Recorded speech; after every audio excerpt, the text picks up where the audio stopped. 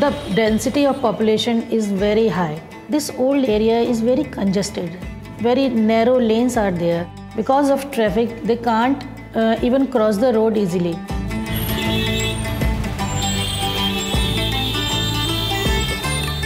There are so many schools in New Delhi, but uh, in Old Delhi, there are um, not so many schools like our school.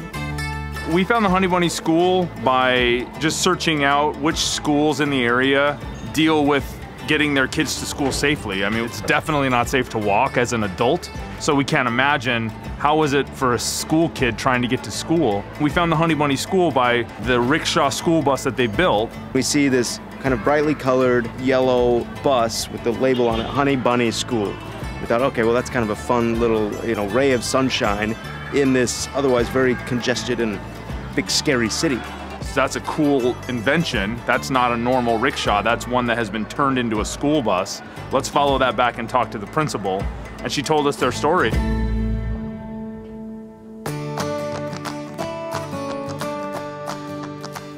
It's really a unique kind of rickshaw because uh, we have very very narrow lane and the bigger bus can't come there.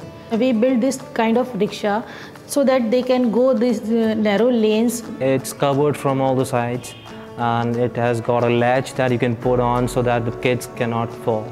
So that is why it's the safest way to get our kids to the school.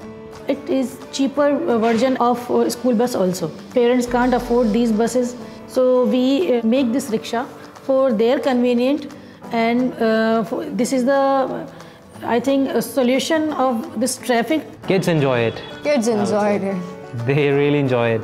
Because there are around 12 children who can sit in one rickshaw. So they come playing with each other. They really like it. The color, the sitting arrangement. They have fun with their peer group. Her story is pretty inspiring that she lived here, she grew up in Old Delhi, and she started this school, which now has over 100 children in it.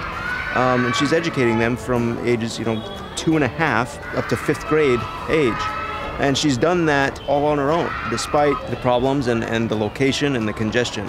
I really feel uh, in my inner heart that I have done something good for others when uh, parents came uh, come to me and they say uh, we are really very happy with this with, with these rickshaws.